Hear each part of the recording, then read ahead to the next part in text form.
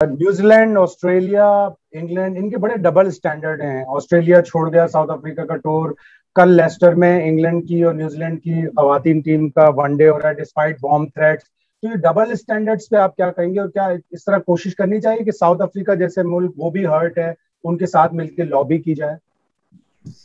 देखें शायद मतलब मुझे तो ये लगता है अभी आईसीसी की मीटिंग भी है हमारी वर्ल्ड कप के दौरान। मुझे तो ये लगता है कि ये खाम खाम में कॉस्मेटिक किस्म की ये मीटिंग्स हैं। क्योंकि अगर मीनिंगफुल कोई चीज़ें इस पे नहीं होती हैं मतलब आप रियलाइज़ ही नहीं करते हैं कि एक क्रिकेट बोर्ड ने सालों साल तक मेहनत करके यहाँ तक काम किया है। और आप एक वन फाइन इवनिंग एक्चुअली आपको कोई एक होक्स भी हो सकता है, ये थ्रेट भी हो सकता है, उसके बेस के ऊपर जो है वो आप टेक ऑफ़ कर जाते हैं और सारे जो हमारी मेहनत है वो ज़ाया कर देते हैं। तो ये इन मीटिंग्स का फ़ायदा क्या है? मुझे तो इस चीज़ की समझ नहीं आती है।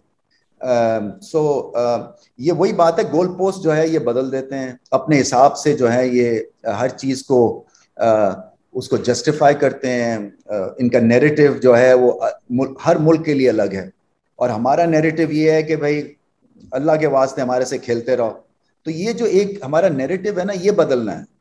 और इसके बदलने के लिए जो हम यहाँ पीसीबी में भरपूर ज़ोर लगाएँगे, अपने प्रेस के थ्रू भरपूर ज़ोर लगाना चाहिए और क्रिकेट टीम को ये भी रियलाइज़ करना। आई थिंक सबसे ज़्यादा इंपॉर्टेंट जो इस सारे सिनेरियो का जो अब क्रक्स है ना, वो ये है कि पाकिस्तान टीम को एक मिसाली परफॉर्मेंस देनी है इस वर्ल्ड कप में। और अपने से उभर के खेलना है। जिसकी जो कैपेसिटी है, उसको हंड्रेड टाइम्स जो है वो इम्प्रूव करना है। मैं इनसे बार बार ये कहूँगा, अभी भी जब भी मेरी बात होगी कि आपको ये जो चैलेंज है, आप इसी तरह से आपने दुनिया को खामोश करना ये जो आपके साथ हुआ है, इसका एक ही तरीका है।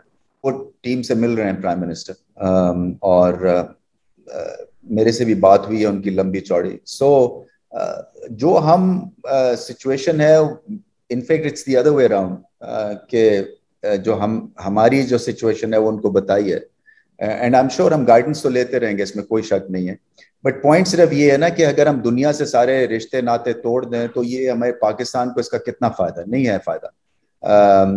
और इसका जैसे मैंने कहा कि आपका बैकअप प्लान ज़रूर होना चाहिए। दूसरा ये कि आपकी परफॉर्मेंसेज इतनी अच्छी हों कि आप जाके फिर दुनिया को बता सकें कि आपको अगली दफ़ा इस तरह का कोई टीम रिफ्यूज करे तो वो दो दफ़ा सोचे। मैंने क्रिकेट की इकोनॉमी की बात की है, उस पर हमें बहुत काम करने की ज़रूरत है और इंशाल्लाह आप देखेंगे अगले छह महीनों में हमारे पास एक नई एवेन्यूज हम क्रिएट करेंगे जहाँ पे क्रिकेट बोर्ड के पास बहुत पैसे आएँगे, क्योंकि लोग बहुत तैयार हैं क्रिकेट के प्रोडक्ट में बिलीव करते हैं और इसको और ज़्यादा लेके जाना चाहते हैं। मैं समझता हूँ कि हमारे पास सब चीज़ें मौजूद हैं, इस वक्त जो चीज़, जिस चीज़ की ज़रूरत है, इनको आईना दिखाने की ज़रूरत है। और आईना हमने इन नो जिसको कहते हैं ना अनसर्टन टर्म्स में इनको दिखाया है। अगर आप, मैं रिकॉर्डिंग काश में आपके साथ शेयर कर सकता, जो चेयरमैन ईसीबी के साथ की है तो आप खुश हो जाते। इसलिए कि उनको बिल्कुल मैंने ये बताया कि हमें आप इस्तेमाल करके और बिन कर देते हैं। ये ना क्रिकेट बोर्ड को जो है ये ये चीज़ पसंद है और ना ही फैंस को, ना ही क्रिकेट टीम को। जैसे मैंने कहा ना कि ये एक वेस्टर्न ब्लॉक बन जाता है और उसके तहत फिर ये सारे डिसीज़न मेकिंग एक अगर अबॉर्ट कर गया टूर तो दूसरा भी करेगा और तीसरा भी करेगा। सो इसमें कोई मंतक है नहीं और उनको भी पता है। क्योंकि हमें प्राइवेटली बताया गया है कि टीम से उन्होंने ज़्यादा पूछा नहीं है इस बारे में। तो क्या उन्होंने टूर करना है या नहीं करना? बट एनी anyway, वो उनका इंटरनल मामला है। हमारा इस वक्त मामला ये है कि हम एक एक भरपूर अंदाज से जो है इतना ज़्यादा इसको हेड ऑन लें ताकि अगली दफ़ा ऐसी सिचुएशन ना हो और अपना मौकफ जो है वो सारी दुनिया के सामने रखें कि आप इस तरह से टेक ऑफ़ नहीं कर सकते हैं विदाउट शेयरिंग जो आपको एक थ्रेट का परसेप्शन था। और एक, ऐसी हमारी जो जो आपकी सिक्योरिटी फोर्सेस हैं जो कि दुनिया में सबसे बेहतरीन और बैटल हार्डन है। इनसे ज़्यादा क्या पता होगा? क्योंकि हम तो एवरी डे जो है वो इस अम्ब्रेला के तहत जो है वो रहते हैं थ्रेट्स आते हैं, उसके साथ we deal with it and we move on so ये एक स्पिरिट जो चाहिए थी इंग्लैंड की तरफ़ से न्यूजीलैंड की तरफ़ से या वेस्टर्न टीम्स की तरफ़ से, वो दिखने को नहीं मिलती है। सो अपना मकसद जब होता है तो ये बिज जाते हैं। जब हमारा मकसद होता है तो हमें ये बिन कर देते हैं। ये ये ये जाती है।